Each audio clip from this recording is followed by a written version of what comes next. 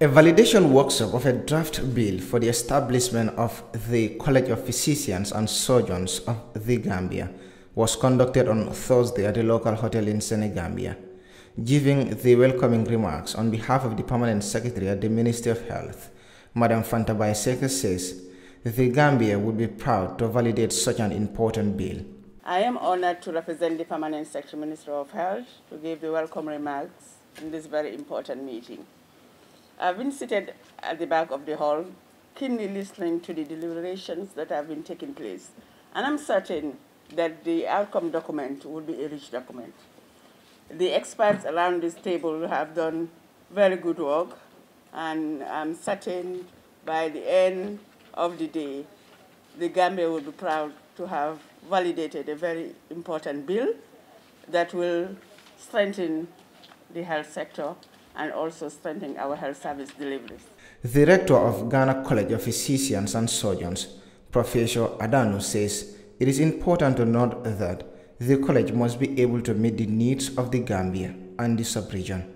And as we discuss this um, bill and think of setting up the postgraduate, the, the College of Physicians and Surgeons of the Gambia, it's important for us to note that this college must meet the needs of the Gambia first and foremost, and then also meet the needs of the, of the sub-region, and then we think about um, globally.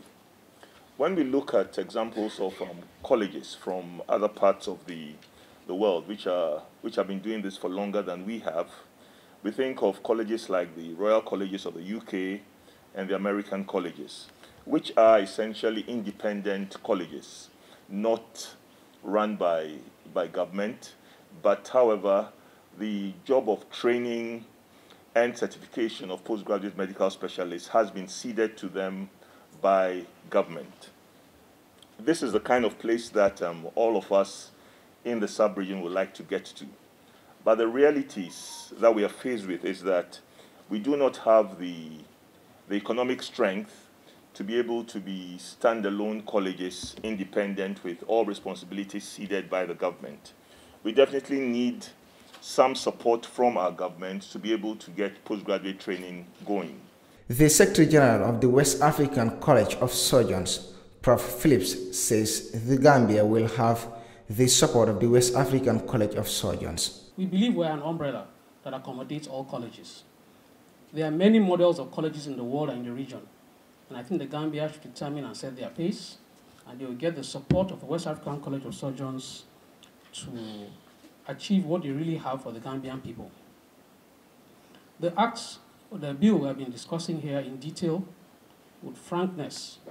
The desire is that it's going to transit to an act, and the act will transit to a college. Above all, the West African College of Surgeons hopes that this college will train locally but still maintain international standards. The WHO representative, Dr. Desta, describes the validation as very important in the history of the Gambia. We are also impressed by the pace, how the conceptualization and realization of the College of uh, Physicians and Surgeons of the Gambia is happening. This is one of the successes of uh, Honorable Minister. He had a very strong conviction to improve the health sector and, uh, your team.